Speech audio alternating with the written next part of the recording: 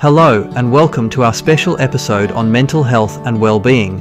I'm Greg Jones, and today we're diving into a wonderful and creative tool that can help you focus on your goals, dreams, and personal growth. The Vision Board. Whether you're new to the concept or looking for new ways to use it, we've got you covered. Let's explore how creating a vision board can enhance your mental health and well-being. A vision board is more than just a collection of pictures and words.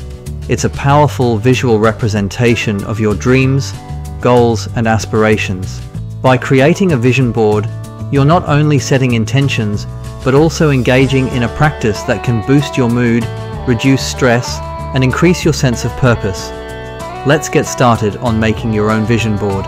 You'll need a few basic supplies, a board or large piece of paper, magazines or printed images, scissors, glue or tape, and markers. Feel free to get creative and include any other materials that inspire you, like stickers or fabric scraps. Before you start cutting and pasting, take a moment to think about what you want to focus on. What areas of your life would you like to improve? Is it your career, relationships, personal growth, or self-care? Flip through magazines or search online for images and words that resonate with your intentions. Look for visuals that make you feel happy, motivated, and excited. Lay out your images and words on your board before gluing them down. Play around with different arrangements until you find a layout that feels right. Once you're happy with it, start gluing or taping everything in place. Remember, there's no right or wrong way to do this.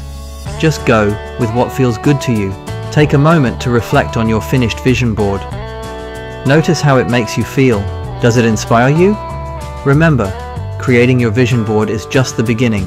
Use it as a tool to keep you motivated and focused. And don't forget to update it as your goals and aspirations evolve.